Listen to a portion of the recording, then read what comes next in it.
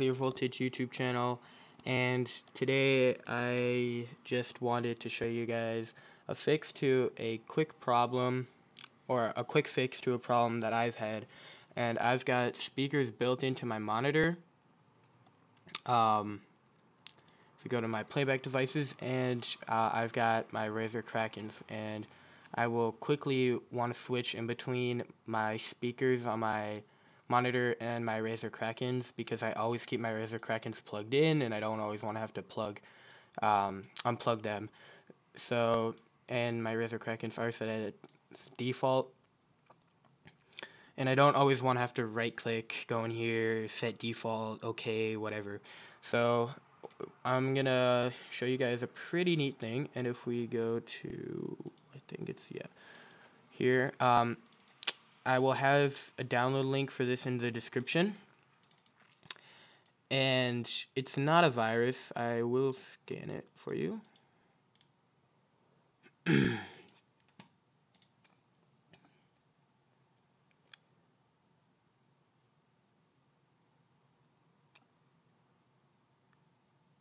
but so what this program is, is it's a tiny program that okay so Threat scan complete, item scan, threats identified. Okay, now let's scan the DLL. You don't actually have to install anything, so that's nice. And I think it only works for Windows. Yeah, I'm almost 100% sure it almost it only works for Windows. And scan done, and threat threats identified none. So all you have to do is download it and just put it somewhere where you won't delete it. As I have it, I have it in one of my hard drives in the programs file, and I have that. And then what you want to do is you want to um, right-click switcher, the audio switcher, and you want to do create shortcut or send to desktop to create a shortcut. And then you want to hit Windows key R, or you can do uh, find run by doing Windows key S and searching run.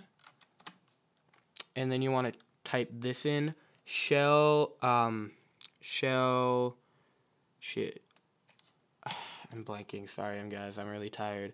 Um, colon startup and then hit OK. And it will bring you to the Windows startup programs because I'm guessing you want um, the program to start up whenever you turn your computer on and then just drag the shortcut into here like I have.